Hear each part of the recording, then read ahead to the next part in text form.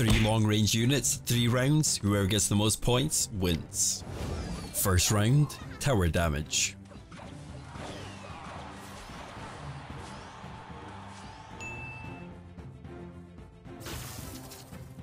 Round 2, Skeleton Battle Defense.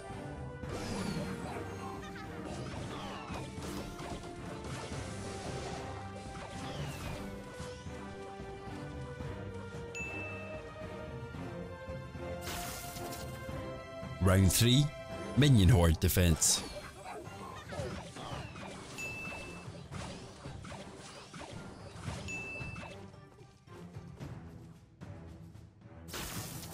Hold up.